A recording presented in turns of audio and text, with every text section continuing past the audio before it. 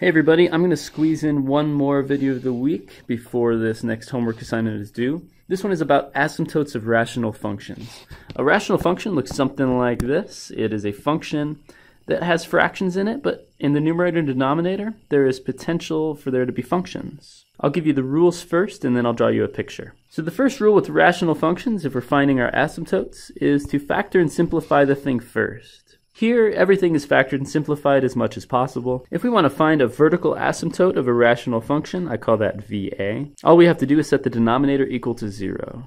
In our example, that would be setting x minus 3 equal to 0. You solve for x and you get x equals 3. x equals 3 is going to be the vertical asymptote on this graph. Now if I were to draw a sketch of this graph, it would look something like this. And right here at x equals 1, 2, 3, we would have ourselves a vertical asymptote.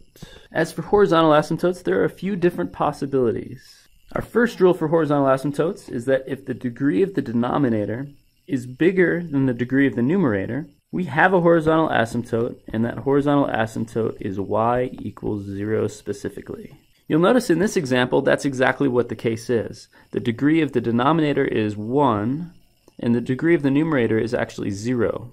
So the degree of the denominator is bigger in this problem, and we have a horizontal asymptote, and that horizontal asymptote is y equals 0.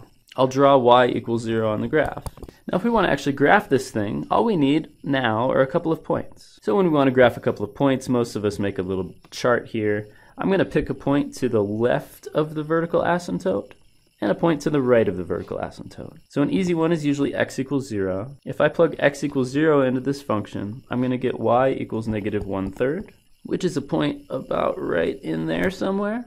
And if I want to pick a point to the right of the vertical asymptote, I'm going to pick x equals 4 for convenience. And if I plug in x equals 4 into this function, I'm going to get 1 over 1, which is just 1 is my y value. So I have that point right there as well. Now the behavior of rational functions is such that they approach but don't touch vertical asymptotes. And while a function can sometimes cross a horizontal asymptote, in this case, we don't get any crossings of our horizontal asymptote because this function doesn't have any zeros, which I'll explain in the next example. So the graph of the function 1 over x minus 3 looks something like this right here. Alright, I need to show you a harder example, and you need to see another case where there's a different type of horizontal asymptote.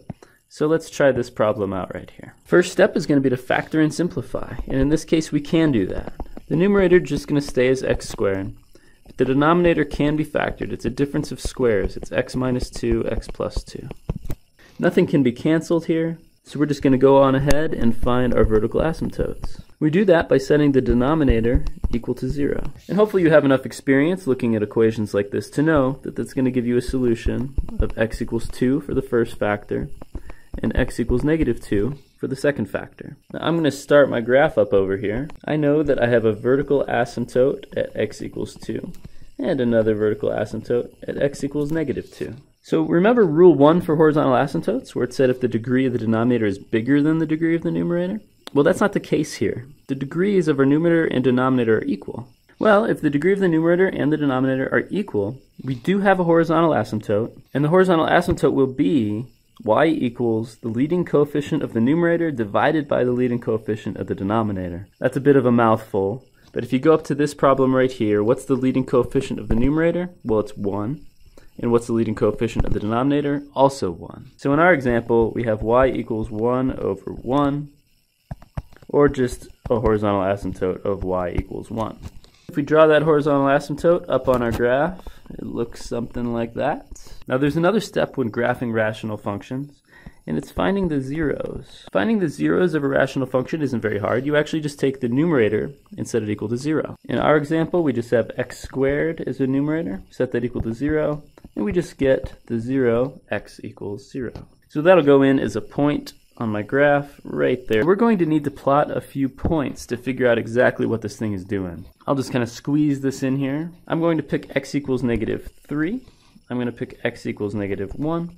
I'm going to pick x equals 1 and x equals 3. And if we can find y values for those, we can plot those points, and we should have a good idea of what the graph looks like. Keep in mind that when we square a negative number, it becomes positive. If we plug in x equals negative 3 and do just a little bit of work, we get y equals 9 fifths. If we plug in x equals negative 1, we get y equals negative 1 third. If we pick x equals positive 1, we get y equals negative 1 third.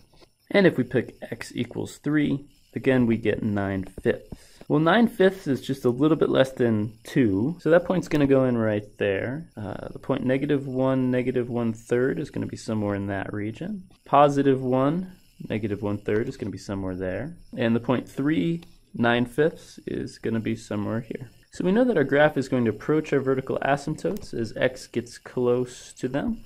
So I've drawn that behavior in. And as x gets really big, a graph approaches the horizontal asymptotes. So there's a basic sketch of what this thing's going to look like. All right, let's run through this example really quick. You can always hit pause on your browser. You'll notice that an x minus 3 cancels out of the numerator and denominator. We're going to have to do something with that later, but for now, we're just going to get rid of it, and we're going to say, don't forget that there's some funny business happening at x equals 3. Vertical asymptotes, set the denominator equal to 0. For horizontal asymptote, Notice that the degree of our denominator is bigger than the degree of the numerator. That's our first rule, and we decided that that was going to give us y equals 0 as our horizontal asymptote. For zeros, we're setting the numerator equal to 0, and we get a 0 of x equals negative 3. Now I'm going to squish this all down so that I have room for a little bit of a graph.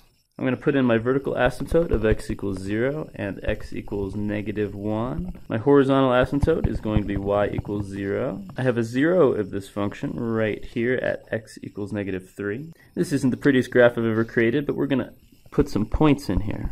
I'm going to pick an x value from each region in between all of our zeros and our vertical asymptotes. So I'm going to pick an x value of negative 4, somewhere over here. Unfortunately, I'm going to have to pick a fraction. I'm going to pick x equals negative 1 half to squeeze in between these two vertical asymptotes.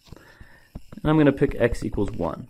I'm going to take x equals negative 4 and I'm going to plug it into this simplified version of the function here because it's a bit easier. I'm getting y equals negative 1 12th. Unfortunately for our graph, if we plug in x equals negative 1 half, we get y equals negative 10. I had a little bit of scratch work here to help me with that. If you want to pause, your browser to look at it, that's fine, but I'm going to get rid of it right now. And if we plug in x equals 1, we have a much simpler calculation and you get y equals 2. So okay, let me plot those points really fast. I'm just going to say that negative 1 half negative 10 is down here somewhere. Okay, so now we're just approaching our vertical asymptotes. Down here, the function is going to work downwards. How do you know it's going downwards and not upwards? Well, if the function went upwards, you would actually have zeros right here between negative 1 and 0. And we don't have any zeros in here, so we know that our function has to point downwards. And I'm realizing there's a little bit of ambiguity here between uh, x equals negative 3 and x equals negative 1. So I'm going to pick a point, say, uh, x equals negative 2, and I'm going to throw that in there. I'm getting positive 1 half is my answer for that, so I'm getting a point right here. Okay, so our function is going to approach this vertical asymptote in that direction. It's going to cross through this 0 here. It's going to pass through that point, and as x gets really, really small, or very, very negative, I should say, the function is going to approach that horizontal asymptote. To the right, the function is going to approach the horizontal asymptote and never cross it because we know we don't have any zeros here. So it's beautiful and it's almost complete. Our crazy looking rational function here, if we graph it out, looks something like this. Now I'm going to throw one more point onto this list. I'm going to look at the point x equals positive 3. Because I made this note back here that said, don't forget something funny is happening at x equals positive 3. Now if I plug x equals 3 into this original function, our very first one up here, or this one right here before we canceled things out, you'll still notice that there is a 0 in the denominator. The function is undefined. There is no value of this function at x equals 3. So right here at x equals 3, what actually happens when you do that cancellation, uh, this cancellation right here and here, what happens is you actually leave an open hole in your graph. We have a name for that. It's called a removable discontinuity. To the left of that hole, the function goes along just fine. To the right of that hole, the function looks perfectly normal. But right there, at just that one point, x equals 3, the function doesn't actually exist. So you just kind of have to point that out. Okay, those videos getting kind of long. I'm going to sum everything up really fast. We always factor and simplify, but to find vertical asymptotes, we always set the denominator equal to 0. Horizontal asymptotes, there are two possibilities. One, if the degree of the denominator is bigger than the degree of the numerator, you get y equals 0. Two, if the degrees of the numerator and the denominator are equal to each other, you have y equals the ratio of the leading coefficients. If you want to find zeros of a rational function, you just set the numerator equal to 0. But that does not answer the question of what happens when the degree of the numerator is bigger than the degree of the denominator. And in the case that we have right here, if the degree of the numerator is 1 bigger than the degree of the denominator, we do get an oblique asymptote. So if this was an x to the fourth right here, we would have no horizontal asymptote and no oblique asymptote. But as it is, we do have an oblique asymptote. How do we find it? The answer is polynomial long division. So I'm going to write this problem out right here. Notice I'm putting all my spacers in. If I have any missing terms, I'm just putting a zero coefficient on those missing terms.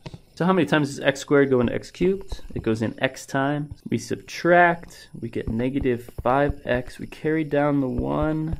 And since x squared cannot go into this at all, this is actually our remainder. So if we were finishing this problem off, we would take that remainder and put it over the original denominator.